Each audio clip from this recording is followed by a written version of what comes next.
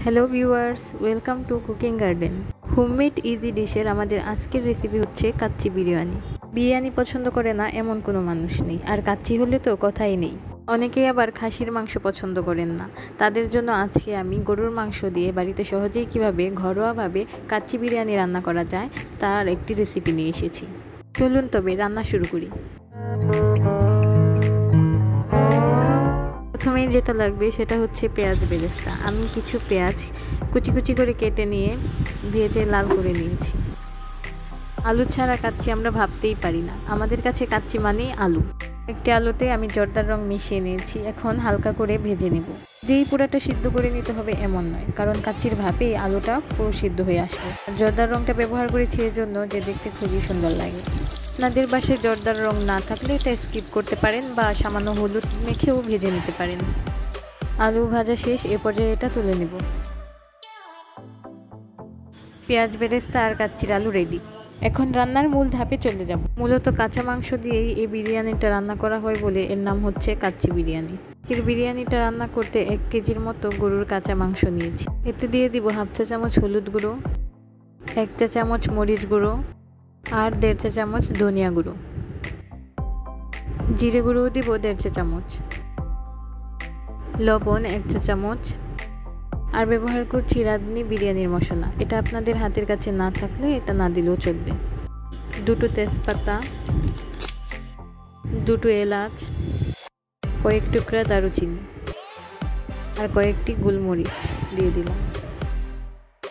এখন ব্যবহার করব টক দই। বিরিয়ানিতে টক দই ব্যবহার করলে এর স্বাদ অনেক বেড়ে যায় আর মাংস তাড়াতাড়ি সিদ্ধ হতেও এই টক দই অনেক সাহায্য করে। আপনাদের হাতের কাছে টক দই না পাওয়া গেলে সহজে বাড়িতেও টক দই বানিয়ে ফেলতে পারে কিং গার্ডেনের টক দইয়ের রেসিপি আমি ডেসক্রিপশন বক্সে এড করে দিচ্ছি, আপনারা দেখে নেবেন। আমি দুই চা চামচের মতো টমেটো সস ব্যবহার করছি, আপনাদের কাছে না থাকলে এটা স্কিপ করতে পারেন। তবে কাচ্চি রান্নার ক্ষেত্রে কিন্তু টক দই ব্যবহার করতেই হবে, কারণ কাচ্চির মেন স্বাদটাই এই টক দই এনে দেয়। নেওয়া পেঁয়াজ বেরেস্তা থেকে আমি অল্প কিছু এখানে দিয়ে দিব আর বাকি কিছু রেখে দিব পরের ডেকোরেশনের জন্য। এগুলো একসাথে সব ভালো করে মাখিয়ে নিচ্ছি। এবার দিয়ে দিব পেঁয়াজ বেরেস্তা আর আলু যে তেলে ভেজে নিয়েছিলাম সেই তেলটা। আমি কিন্তু এর মাঝে দুই চা চামচ করে পেঁয়াজ, রসুন বাটা আর এক চা চামচ আদা বাটা দিয়ে দিয়েছি। আনফর্চুনেটলি সেই ভিডিওটা রেকর্ড করা হয়নি, তাই আপনাদের মাঝে শেয়ার করতে পারলাম না। এবার সবগুলোকে আবার ভালোভাবে মাখিয়ে নিচ্ছি। এখন ভেজে রাখা আলুগুলো মাংসের উপর সাজিয়ে নিব। তবেই কিছুক্ষণ রেখে দিয়ে আমরা কাচ্চির ভাতটা রেডি করে নিব। সে পর্যন্ত মাংসও মেরিনেট হয়ে যাবে। একটা হাঁড়িতে একটু বেশি করেই পানি নিয়ে লবণ দিয়ে দিচ্ছি। আর দিচ্ছি কিছু আস্ত জিরে, দুটো তেজপাতা, তিন খণ্ড দারুচিনি, দুটো এলাচ, দুটো লবঙ্গ আর কয়েকটি গোলমরিচ আমি বিরিয়ানিতে মশলা একটু কম ব্যবহার করার চেষ্টাই করি। কারণ বিরিয়ানিতে মশলা বেশি হয়ে গেলে মশলার ফ্লেভারে বিরিয়ানিটা আর খাওয়া যায় না। আরও এড করে দিচ্ছি এক চা চামচ সয়াবিন তেল। বিরিয়ানির চালটা এখানে বয়েল করে নেব। আজকে ব্যবহার করছি হাফ কেজি চিনি গুঁড়া চাল। তো পানিতে এরকম বলক চলে আসলে এই পর্যায়ে চালটা দিয়ে দিব। তবে এটা বেশিক্ষণ সিদ্ধ করা যাবে না। তাতে বিরিয়ানির ভাত বেশি নরম হয়ে যাবে। একটা বলক চলে আসলে, অর্থাৎ চাল তিন ভাগের এক ভাগ সিদ্ধ হয়ে গেলে এটা নামিয়ে নেব। একে আবার হাত দিয়ে চেক করে দেখেন। ভেতরে একটু শক্ত থাকা অবস্থায় চাল নামিয়ে ফেলেন। তবে আমার মনে হয় ওইভাবে করাটা অনেক রিস্কি কারণ দমে যখন বিরিয়ানিটা হতে থাকে, তখন কিন্তু চালটা বেশি সিদ্ধ হয়ে যায়। তাই আমার মনে হয় একটা বলক চলে আসলে এটা নামিয়ে ফেলা উচিত। এতে বিরিয়ানি হবে ঝরঝরে। এখন চালের পানিটা ভালোভাবে ঝরিয়ে নিয়ে মেরিনেট করা মাংসের ওপর দিয়ে দেব।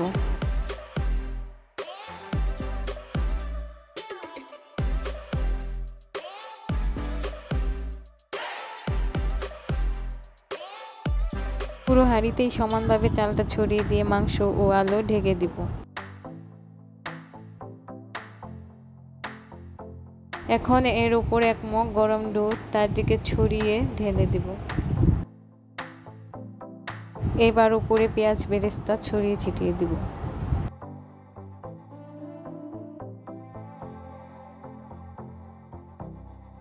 এর উপরে কয়েকটি কিশমিশ দিয়ে দিচ্ছি আর ঘি দিয়ে দিব। ঘি দিলে বিরিয়ানির ফ্লেভারটা অনেক ভালো আসে। আমি একটি বাটিতে পানির সাথে জর্দার রং মিশিয়ে নিয়েছি, এটা ছড়িয়ে দিব। এভাবে জর্দার রং দিলে দেখা যায় বিরিয়ানিটা অনেক কালারফুল হয়। চুলা অন করে প্রথম 10 মিনিট হাই হিটে রান্না করব। কোনো রকম ভাব যাতে বাইরের দিকে বের হয়ে আসতে না পারে, সেজন্য ময়দা দিয়ে একটি খামির তৈরি করে হাঁড়ির চারপাশটা আটকিয়ে দিয়েছি। ঢাকনাতে কোনো ছিদ্র থাকলে সেটিও বন্ধ করে দিতে হবে। যেহেতু গরুর মাংস দিয়ে আজকের কাচ্চিটা করছি, তাই প্রথম দশ মিনিট হাই হিটে রান্না করার পর বাকি এক ঘণ্টার মতো আরও লো হিটে রান্না করে নেব। মনে রাখবেন, চুলার আগুন একদমই কম করে দিতে হবে, নয়তো পুড়ে যেতে পারে নিচে। প্রায় এক ঘণ্টা পর ময়দার কোটিং সরিয়ে নিচ্ছি।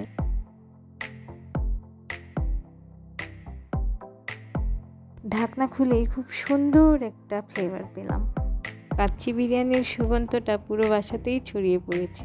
আর দেখুন, দেখতেও কতটা সুন্দর লাগছে।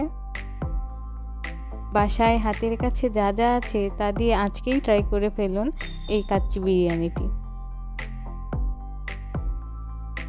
বিরিয়ানির স্বাদ আরও বাড়িয়ে দিতে আমি কিছু গুঁড়ো দুধ এর উপরে ছড়িয়ে দিচ্ছি। আপনারা না দিতে চাইলে নাও দিতে পারেন।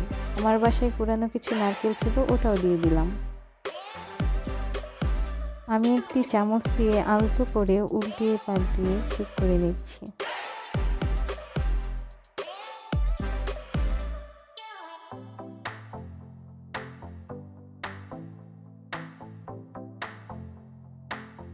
ইস, যেমন দেখতে সুন্দর হয়েছে, তেমনি খেতে সুস্বাদু।